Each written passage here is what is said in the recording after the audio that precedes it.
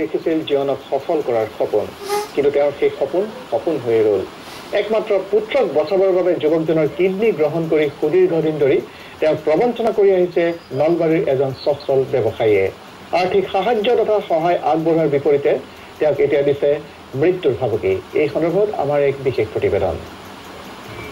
মানৱতাৰ যেন মৃত্যু হৈছে এইখন ৰাজ্যত সকলোতে কেৱল ঠগবাজৰ দৌৰাত্ম দেহৰ কিডনী ক্ৰয়ৰ নামতো আৰম্ভ ঠগবাজি পেটৰ ভোক এক দুৰন্ত ক্ষুধা।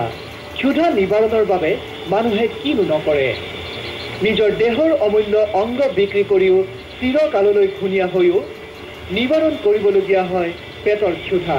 কাৰণ দাৰিদ্ৰই যে কোঙা কৰে এইসকল হতভগীয়াক।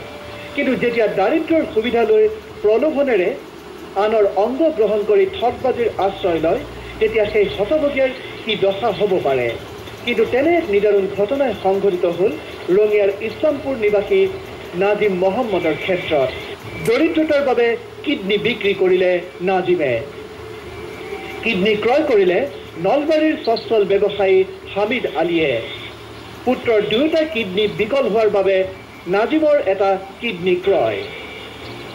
কিডনীৰ বাবদ চাৰি লাখ টকা ডেৰ লাখ টকাৰ এখন দোকান আৰু নলবাৰীক একথা মাতি দিয়াৰ প্ৰতিশ্ৰুতি। কিন্তু আপুনি শুনি আচৰিত হ'ব যে নাজিম মহম্মদক দিয়া এই প্ৰতিশ্ৰুতি প্ৰদান কৰি সম্পূৰ্ণ আভুৱা ভাৰীৰে ব্যৱসায়ী হামিদ আলীয়ে অস্ত্ৰোপচাৰ সম্পন্ন হোৱাৰ পাছত খোৱা বোৱা ঔষধ পাতিৰ নামত সামান্যতম ধন প্ৰদান কৰি বিগত ডেৰ বছৰে হামিদ আলীয়ে ঠগি থাকিল নাজিম মহম্মদক। প্ৰাপ্য ধনৰ পৰা বঞ্চিত নাজিমে দুই এজনৰ পৰা ধন ধাৰে লৈ এখন লেপতুলিৰ দোকান দিয়ে যদিও দাতাই দিলেও বিধাতাই নিদিয়াৰ দৰে কিছুদিন পাছতে দোকানখন অগ্নিকাণ্ডত সম্পূৰ্ণ ভস্মীভূত হয়। এতিয়া মূৰত চৰক ভাগি পৰা নাজিম পথৰ ভিকহু। ৰুগ্ন ভাগি পৰা দেহেৰে সৰ্বোচ্চ হেৰুৱাই নাজিমে এতিয়া ৰাস্তাই ৰাস্তাই ভিক্ষা মাগি ফুৰিছে। নিজৰ জীৱনক মৃত্যুমুখলৈ ঠেলি আনৰ প্ৰাণ বচোৱা নাজিমৰ বাবে এয়া যেন এক নিৰ্দয় পুৰস্কাৰ। আমি তাৰ ঘৰ যাওঁতে ই কিডনীটো লোৱাৰ কাৰণে কৈছে ই কৈছে আমি তোমাৰ বাচ্চাৰ কাৰণে দুই লাখ টকা দুই লাখ টকা চুই দিম দুই লাখ টকা এটা দোকান কৰি দিম এক কটা মাটি কিনি এটা ঘৰ কৰি দিম এনেকৈ কথা কৈ কেনে কিডনীটো আমাৰ লৈছে। কিন্তু আজি আমি ইমান বিৰোধ কৰি আছোঁ ই আমাক চাবও নাহে আমি গেলি আমাক জানি মাক ধুকি দি আছোঁ। কিন্তু প্ৰশ্ন উত্থাপন হয় কিয় ব্যৱসায়ী হামিদ আলীয়ে ঠগিলে নাজিম মহম্মদক? নিজ পুত্ৰৰ প্ৰাণ বচাবলৈ নাজিমৰ জীৱনৰ সৈতে খেলা কৰিলে কিয় হামিদ আলীয়ে? ধনেৰে বলিয়ান হোৱাসকলৰ ওচৰত নাই নেকি নাজিমৰ দৰে হতভগীয়াৰ জীৱনৰ মূল্য? নাজিম আলীয়ে কিদৰে পাব ন্যায়?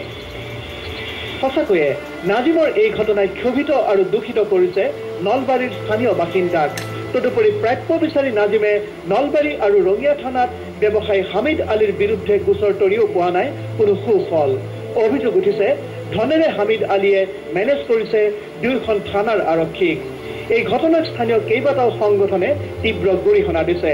কিন্তু সকলোৰে মনত এটা কথাই উদয় হৈছে। সঁচাকৈয়ে মানৱতাৰ অপমৃত্যু হৈছে এইখন দেশত। কেমেৰাত হানিফ আলীৰ সৈতে ৰঙিয়াৰ পৰা ৰবীন দাস ফ্ৰণ্টিয়াৰ টিভি।